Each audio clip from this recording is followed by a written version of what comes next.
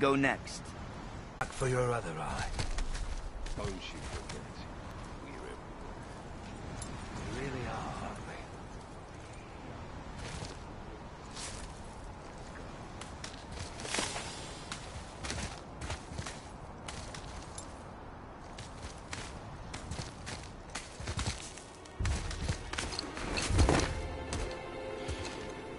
Ah, the very topic of conversation. A tattooed man traveling with a child.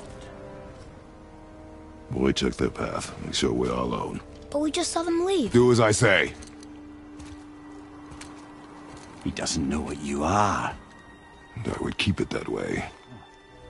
Who are you? Me? I'm the greatest ambassador to the gods, the giants, and all the creatures of the Nine Realms.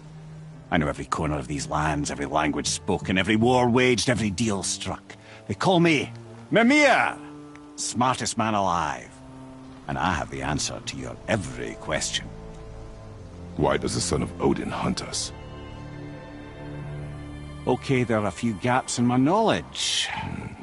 But Odin's had me imprisoned here for 109 winters. I'm a clever lad. I can piece it together. Promise. Just given time.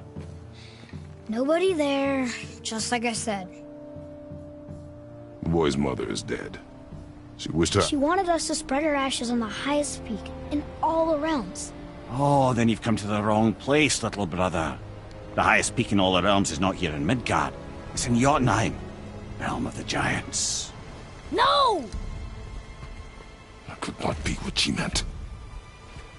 Take a look.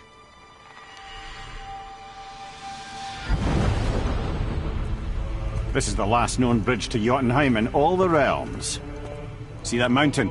Looks like a giant's finger scraping the sky. That's the highest peak in all the realms. No here. Can't we just take that bridge? We have a Bifrost. When the giants destroyed all other bridges to their realm, they locked this one up with a secret rune. If it still exists, only a giant would know it. And all of them left mid... Fact is, there's only one person alive. The longer you wait to tell him his true nature, the more damage you do. He will resent you, and you may lose him forever. There is much about me I would not have him know. So you value your privacy more than your son? I'm going to cut off your head now.